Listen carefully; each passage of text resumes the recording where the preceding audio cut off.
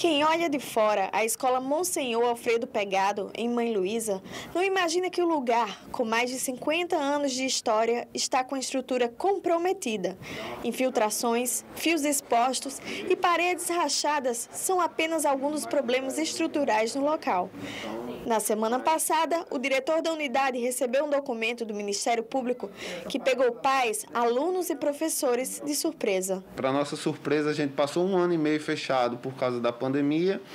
E agora, quando estamos prestes a voltar às aulas semipresenciais, fomos surpreendidos com esse documento em que fala o documento fala claramente em desativar a escola. Então, assim, não dá margem para a gente pensar positivamente em outra coisa. Foi na escola Monsenhor Alfredo Pegado que o auxiliar de serviços gerais, Bruno Galdino, aprendeu a ler e escrever. Duas décadas depois, e pai de três alunos, ele luta para que a escola não seja fechada.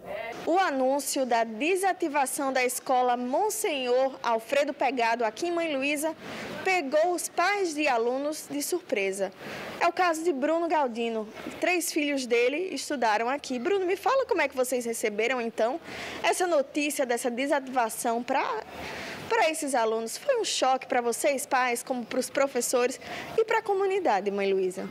É, para a comunidade de Mãe Luísa é uma perda, né? É uma grande perca, caso venha isso acontecer porque a escola não, a gente não tem a escola não apenas como uma escola, uma simples escola, a gente tem ela como um pedaço de nossa história. Quem morou, quem mora aqui, quem morou, sempre estudou aqui, porque antes dela não tinha as outras.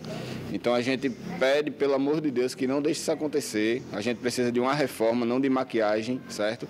A gente pede que o Ministério Público reveja essa situação e venha a comunidade ouvir o que a comunidade tem a falar com respeito a isso. A partir de agora, os 143 alunos, além de professores, serão transferidos para outra escola estadual, também em Mãe Luísa. E nessa outra escola só tem lugar à tarde, é uma escola de ensino médio, a nossa é de Fundamental 1.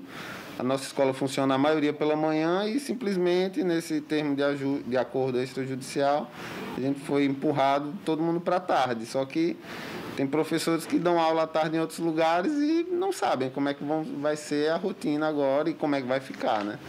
Ao contrário dos demais estudantes do ensino estadual, os alunos da escola Monsenhor Alfredo Pegado não tiveram a chance de retornar às aulas presenciais. Eles permanecem em ensino online. A unidade ainda não recebeu as adequações estruturais e sanitárias para recebê-los. A escola poderia ser interditada apenas uma parte dela, né, e a gente seguir aqui enquanto a escola é reformada. Agora é necessário uma reforma muito ampla, né, porque é um, é um prédio muito antigo, mais de 50 anos, e a estrutura está muito deteriorada.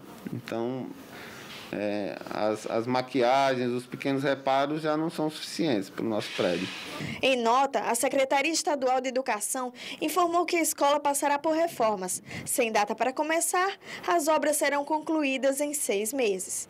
A Secretaria disse ainda que o termo de ajustamento de conduta que prevê o fechamento da escola não foi formalizado e que a unidade não será desativada.